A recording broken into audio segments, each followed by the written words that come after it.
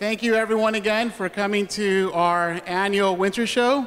We also want to thank our fearless leader behind me here, uh, Tom Matano, who we all affectionately call Papa here at School of Industrial Design. Um, he's really set the culture in the department uh, for us to grow and thrive uh, as designers and to find our world, find our, our, find our place in the world on how we're going to be able to improve it through hard work, through dedication of, to our craft, and that's one of the things, you know, we get a lot of people that come up and they'll say, you know, you guys did a great job, you guys put on a great show, but really the stars of the show are always the students.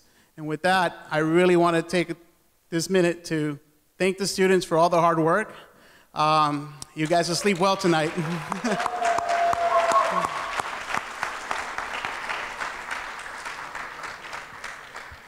so with that said, I'm going to pass it on to Tom. He's going to tell you guys a little love story about a little, little roadster that could.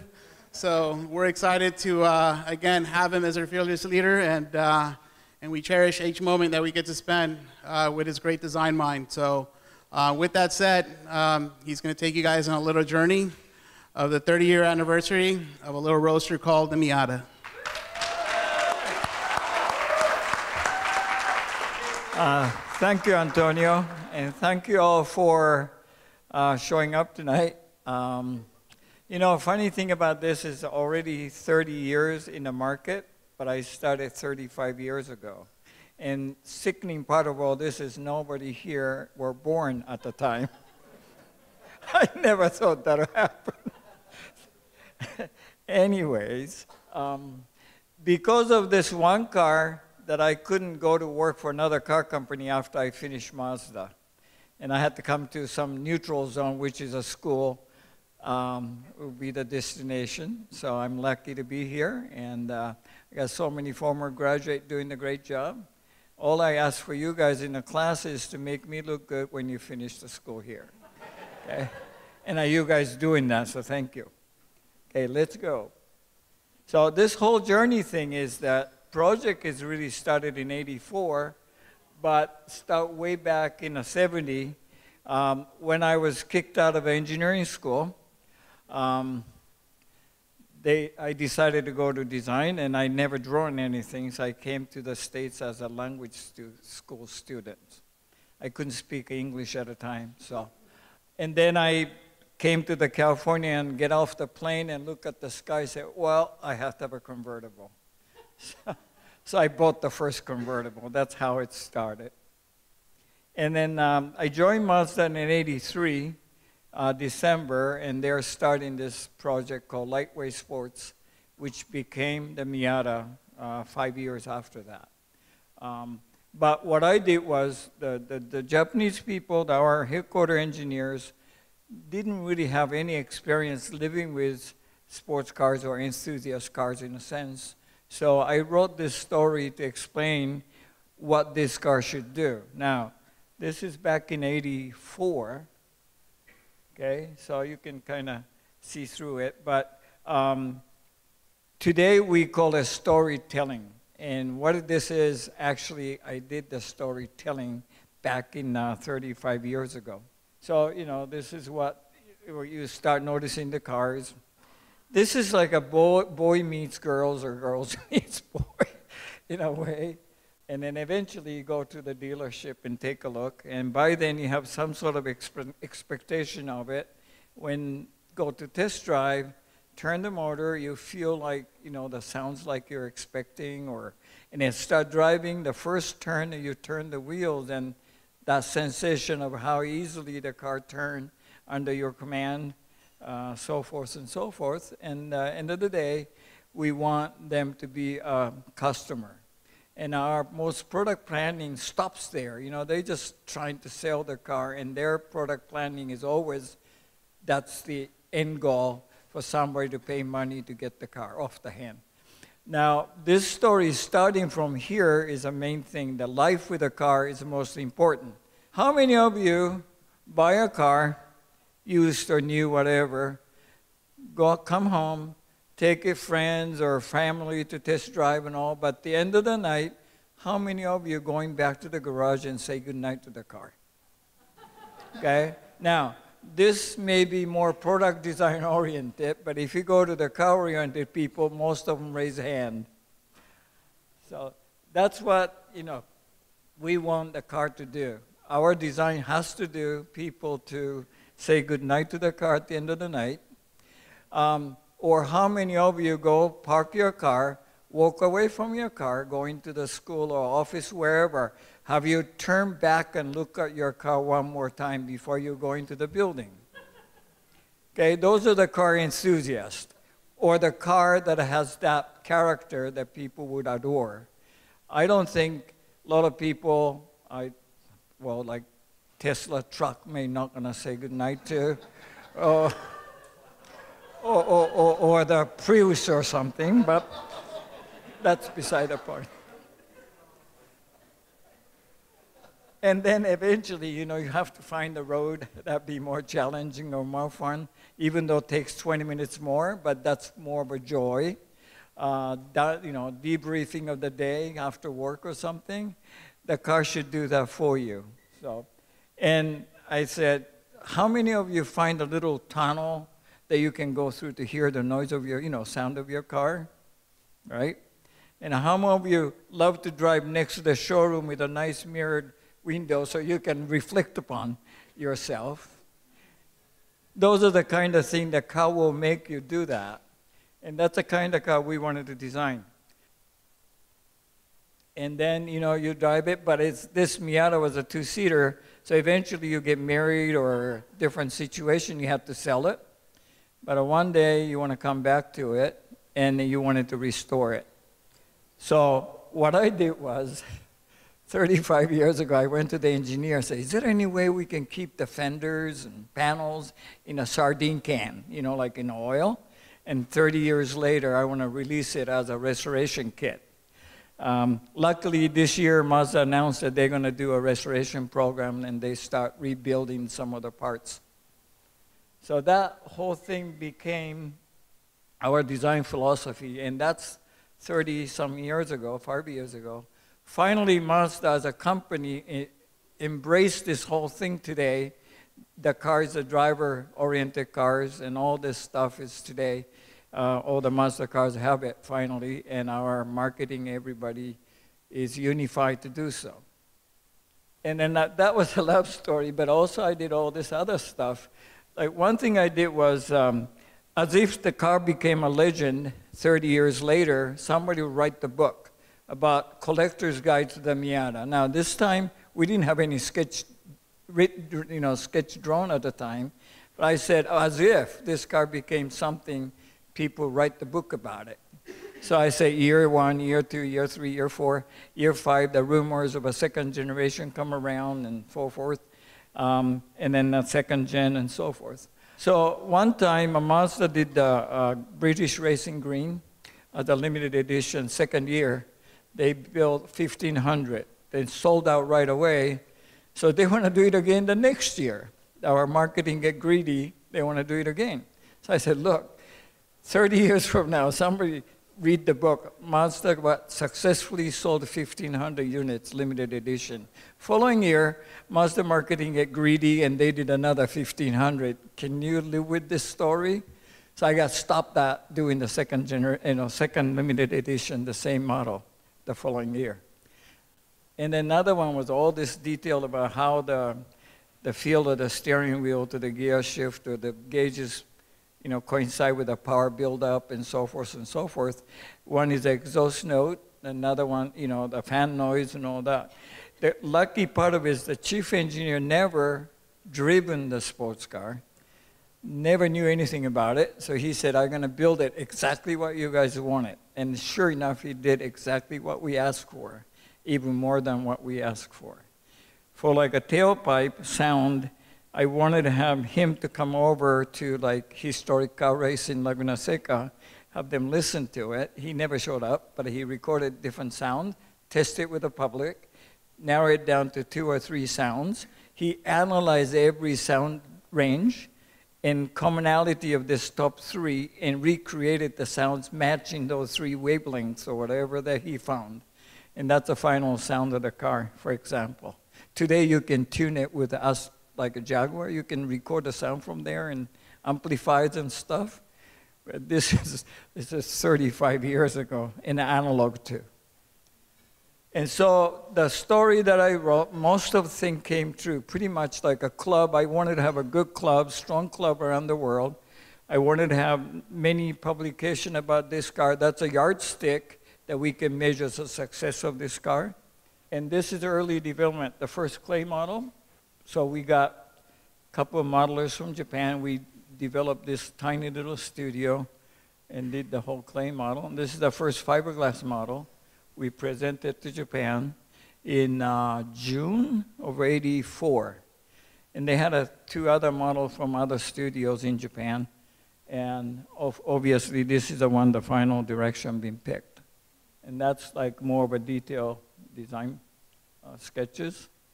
And then any marketing in the Mazda organization don't want to sell this car, didn't want to sell it. No way we can sell this car. So the one of the managing directors said, well, no or go or no go, we have to test it. So we got the real uh, actual driving prototype, and he wanted to test it on the street. You know, everybody hides those cars today, but we put it on the Santa Barbara shopping mall, and all of a sudden, like a 50 people showed up, and somebody had a camera, and we had to chase this guy with a camera. I said, please don't, don't do it, anything with it. And and then we had to go to the back road of Santa Barbara, and then a lot of people chasing us, and guy with a Mercedes dropped the key, said, hey, give me your key, we'll swap. but because of that, the guy with the white shirts over there, he's one of the director, um, he became a true believer in this project. So whenever we hit the, the hard spot, that he supported us with the chairman. So, and again, I want this to be special you know, a lot of people, the special people, have interesting stories about it. So if we started with interesting stories, car may become something special. So I did the reverse engineering of that. So first of all, that, that thing is our, our R&D center. Year before the car was introduced, I put the fiberglass casting of the front and rear on the front lobby wall. Nobody do that, but I wanted to do it. And then everybody said, what is that? Oh, that's a, a you know, failure. I mean, the headquarter didn't like it. it's a reject. I said, I want to put it on the wall for a whole year. And a car came out, and everybody said, You had it up there. I said, Yeah, yeah, yeah. You didn't think of it. and this uh, first, first prototype came over. And that little gap on the headlamp still exists on the production car, unfortunately. Halfway point, we switched the material from uh, steel hood to aluminum and a curvature, stamping curvature difference from the headlight cover to the hood. So most of the Miata has that gap. And then every time I go to the club event, I had to put my finger under the headlamp cover to fixing it. it's my responsibility. And th this is the first catalog that came out. And of course, that's the final design. Now, because of this one car, I, said, First one I was surprised was the wedding came from Japan, right on the, the, the, year that we announced the car. And I didn't think the Japanese people have that kind of idea, but they did. So I was really happy with that. And the uh, Ross Lovegrove, you know the, the, you know the industrial designer guys know Ross, the you know organic chairs and stuff. He wrote this story about this tail lamp so we borrowed his story, made it up to uh, New York MoMA um, permanent collection. That tail lamp became a collection. And these are the national events of the Miata Club, Ohio. You know, that guy next to me was a 72 when I met him, and then he had a station wagon and sold a station wagon. He bought the Miata. And already three times he went, drove down from Wisconsin to Colorado to see his daughter. And that's such an inspiration. I admire that, you know, the, the, the happiness of him and everything. Now I am the 72, so I guess I have to start worrying about that. And that thing is one of the show car for the fifth year anniversary, Speedster. And then this couple showed up with a Batman outfit. So it's a perfectly fit to that car, so I sat them in the car. And this is the Indy, the 251 uh, single car in a one place. Is a, at the time was a Guinness Book of Record. Um, and about six in the morning on Sunday, we had to line up and get onto the track. And a guy next to me is a priest. And Sunday morning, he was with me on the track. So I said, wait a minute, aren't you supposed to be somewhere else? he goes, oh, yeah, but I can't lie. You know, this is more fun than doing the other stuff. so he was an honest man. And this is Atlanta. And this is our fifth year uh, anniversary at our R&D. And then I wanted, you know, all this famous, like a historical cars have Speedster, the lightweight, the coupe, and different body by Bertone, Pininfarina, all the custom coach builders. So I really wanted to have those things under Miata name. And Speedster, I know we're not going to be able to build it because structurally we have to cut the windshield down. Uh, our engineer wouldn't let me do it. So I did it as a Ferrari tribute to Ferrari one year. The, the historic was a Ferrari year. So I called it under the tribute to Ferrari, created this sports car, I mean, prototype, knowingly I'm going to make a speedster after this. And I put my vice president in there, take a picture of it, make sure that he cannot refuse the next time we propose a, you know, little politics. So that orange one became that from the, the Ferrari to our Speedster. And then Club Racer is the one that you drive during the week, go to the racetrack on Sunday. So that was a concept car we produced for the introduction in Chicago back in 89. This is a monopost, single seater, and a coupe, and of course, zero emission vehicle, the pedal car. And before electric cars, we presented in Chicago as a zero emission car. I just wanted to have a pedal car. And then the, this one, one of the guys, uh, uh, son of the VP of G- GM Design, uh, Mark Jordan. So his father retiring and his father wanted to hire me to GM, so I thought I'd just do this tribute for his retirement card with a son did the front of the Miata and he did the back, the Cadillac. But somehow somebody made a fiberglass body of it, you know, red one and even silver one. And then somebody said, well, you know, I want to have a four-seater Miata. Well, somebody built it. Somebody got a Mustang as well. But my favorite is this pedal car race in Japan every year. The kids get in and they race pedal car race. And see, that's cultivating the future Miata owners. And this is a starting of a second generation. And then again, the different, you know, different events around the world. I'm lucky to be around. That's a tenth. Of course, I had to have a good pasta and Swiss. And, you know, Isle and all this. But the best one is this one. When I saw that first time I saw that movie, Mia and Tia, I said, gotta be Miata, you know. And, and sure enough, they had this like a collector models. And um, then I realized that finally that, that my dream of this become a household name, um, you know, one of the proof of it and then the 25th, the fourth generation Miata announcement. They didn't show me until night before. This is a global release, and the boys that didn't show me said, "I know. Don't worry, we did it exactly what you want it. So I said, "Well, yeah, but you guys also know I can't do a poker face." so, tomorrow you open the lid for world release, and I make a face behind this car you're going to be in trouble. So they said, okay. anyway, and then this year, as uh, from February, we went back to Chicago. The 30 years ago, we introduced, so we had this uh, Chicago. But the best part of all this this year, I've been to many places, thanks to uh, Antonio covering my classes and stuff. But uh, I got to see a lot of places. But every place you go, the car earned the citizenship. This is UK, 2,200 cars. This is Czech Republic. I didn't realize they had 300 cars that we never exported to that country until recently. Uh, so they are gray market cars imported from other countries, and they already have event like that.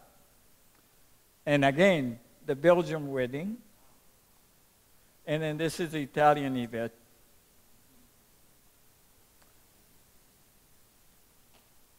And this is Philippines.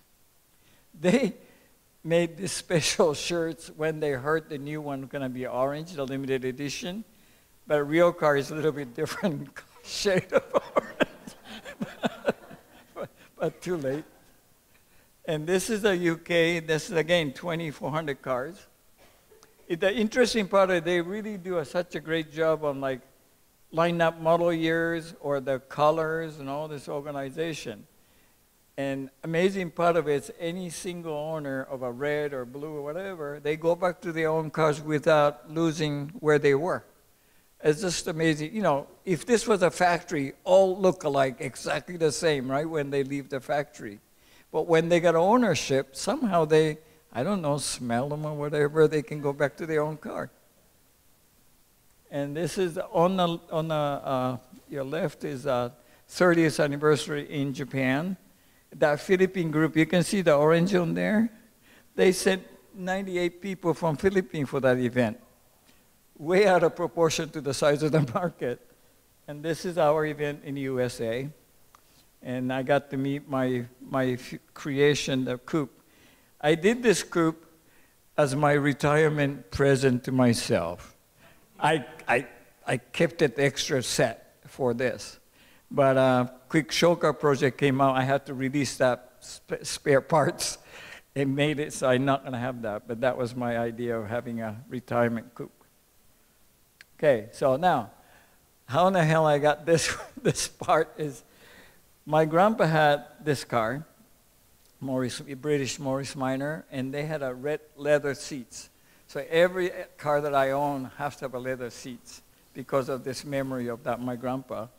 And my uncle had one of those little truck and sit side by side with him, and I'd be the navigator turning the turn indicator.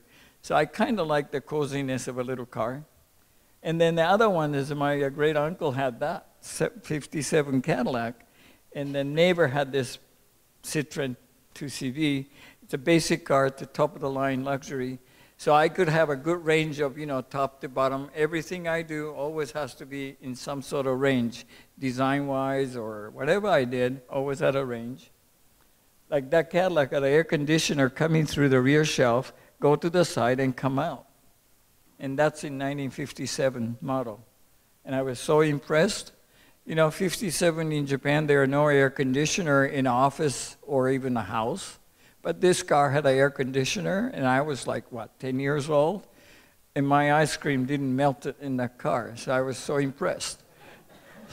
so one day I have to come to the States, you know, because of this.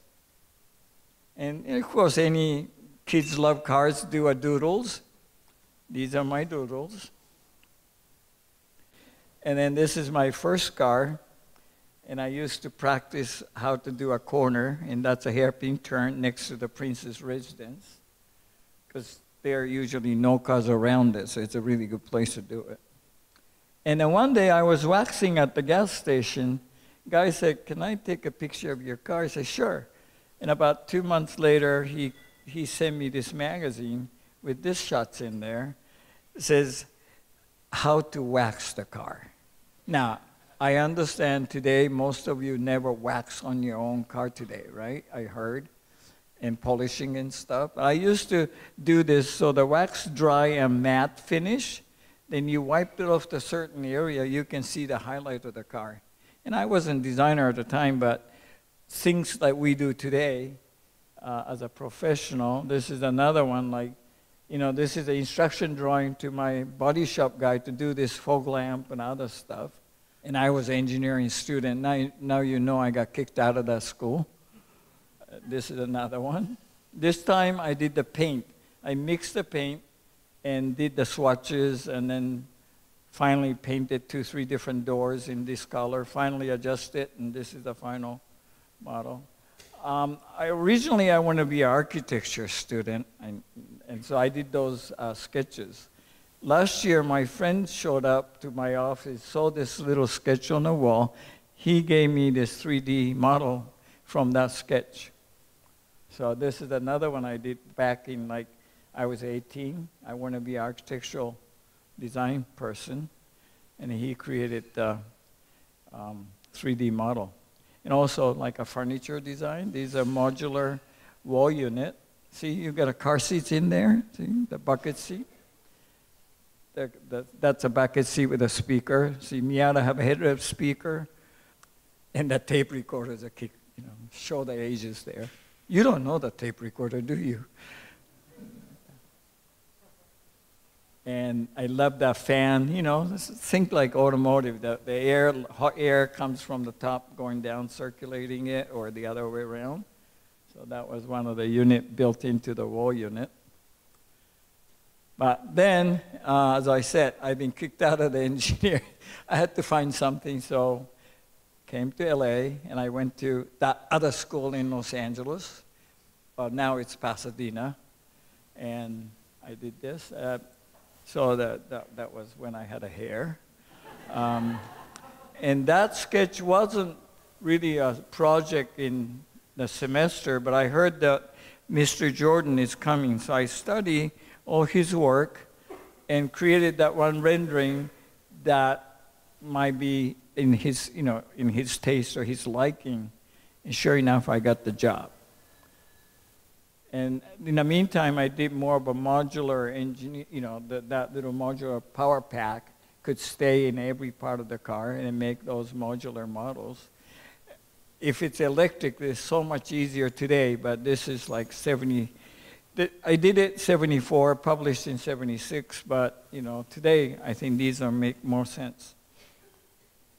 And then because of that one sketch I got, and I got the job in Detroit, so I moved to Detroit at a time that Mitchell, Bill Mitchell, was into this retro design.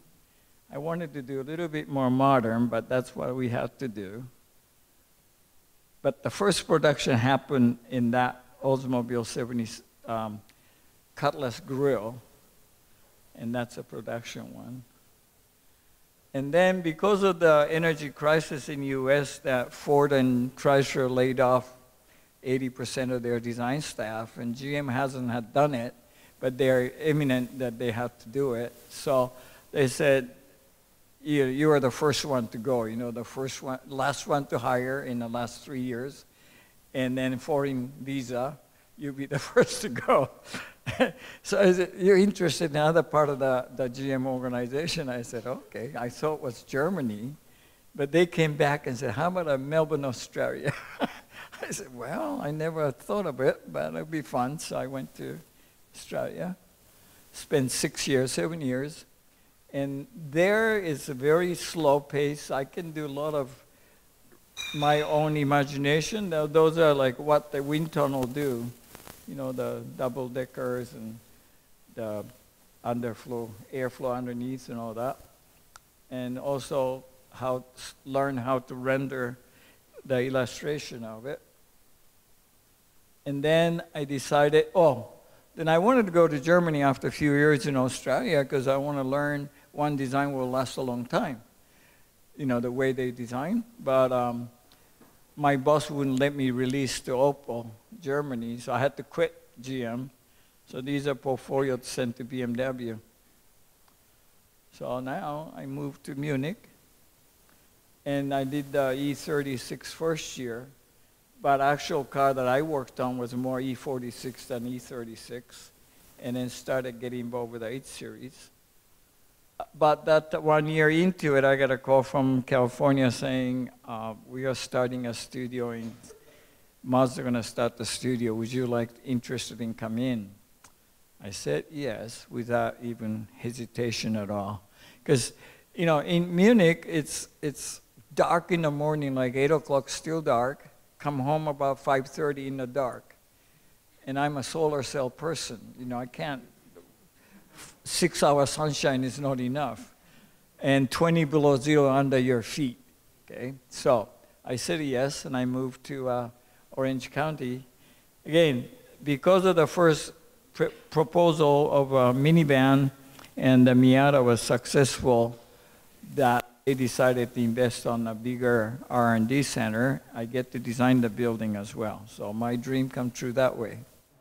I thought I was hired to set the whole developmental system, not just a proposal, you know, like how the advanced design would work, because they never had advanced design. So I did this to showcase, like normally you have theme model, like a design theme, then put this into the production. I was doing RX-7 already, but I just made it this to be more exaggerated as a theme, and then actual production would come through with it. These are early sketches for the FDR third generation. That's the sketch and a clay model. This is the actual car, the final proposal. This one is a fiberglass model. Um, went to Japan and came back.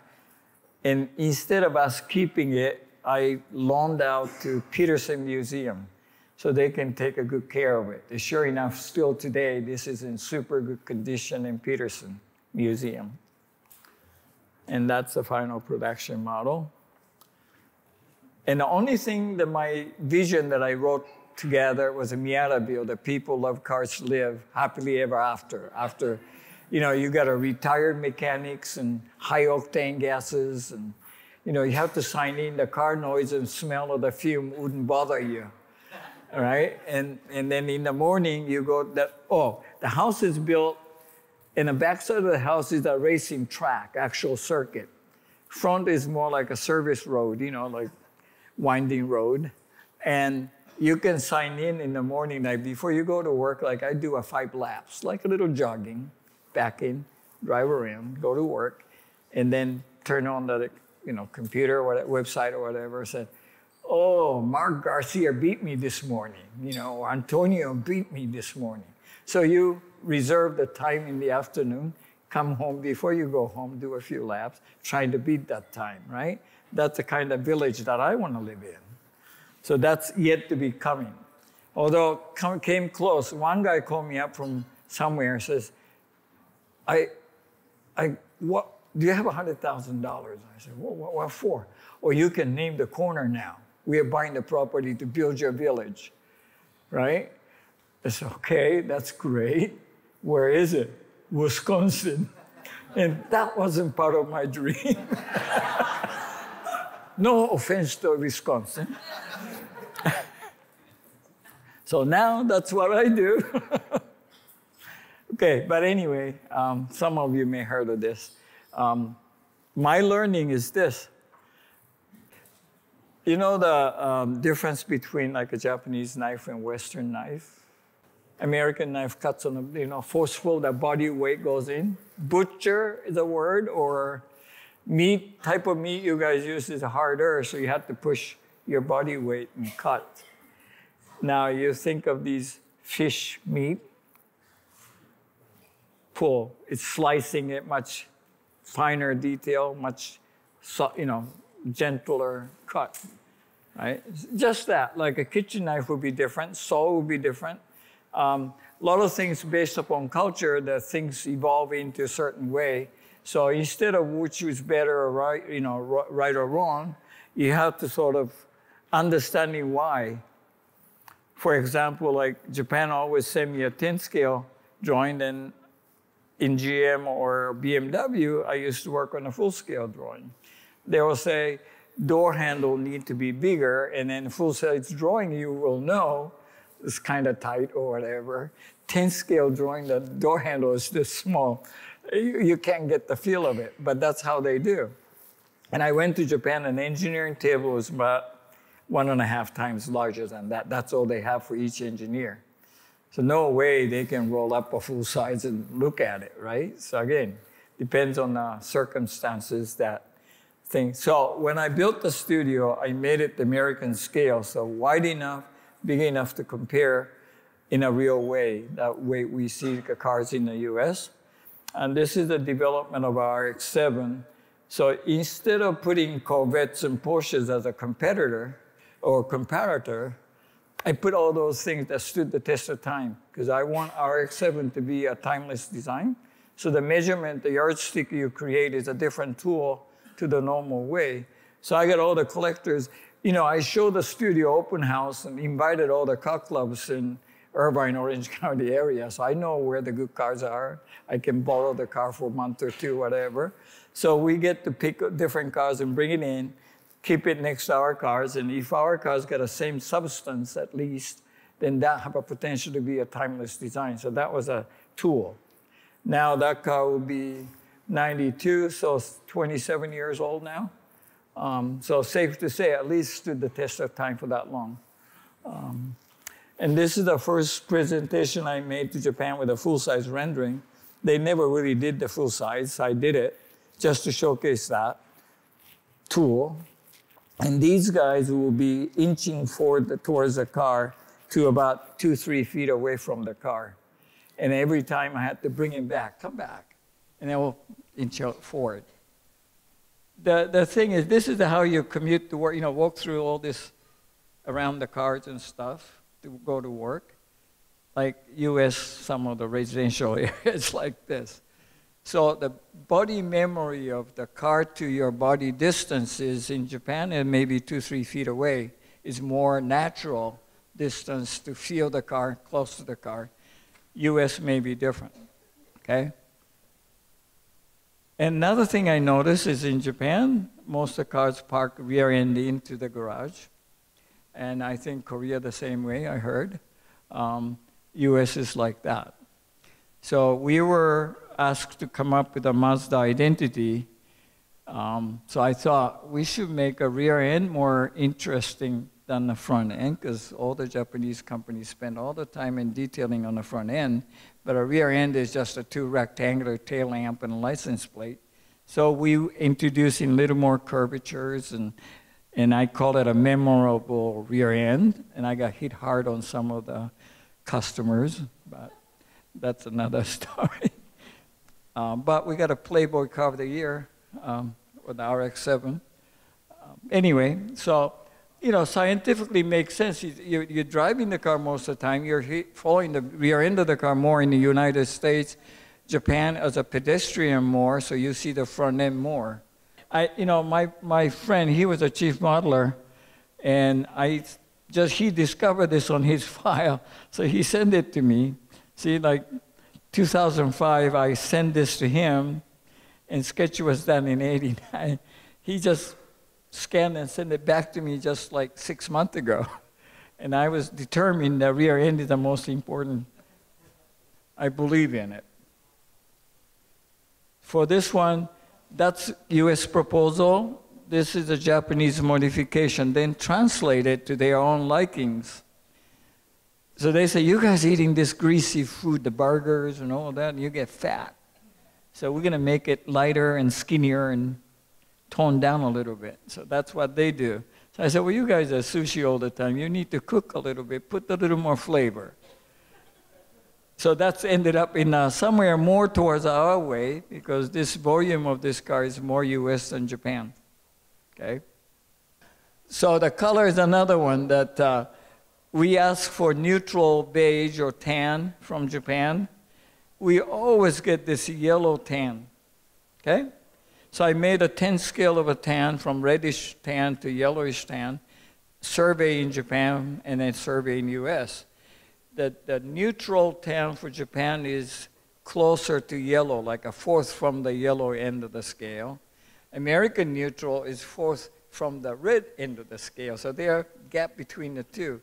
Even though we speak the same name, neutral tan, we never got the same color. So since then, neutral number four could be for Japanese market, number six could be for US market.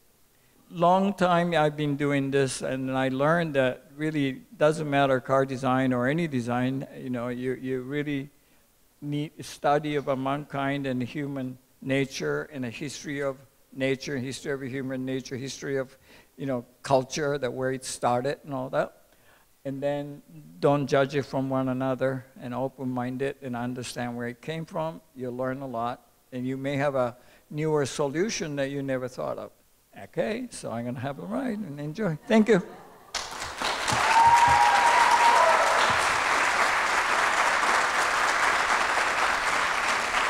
So I had a fun time for 35 years, and I'm having a much greater time here with the school.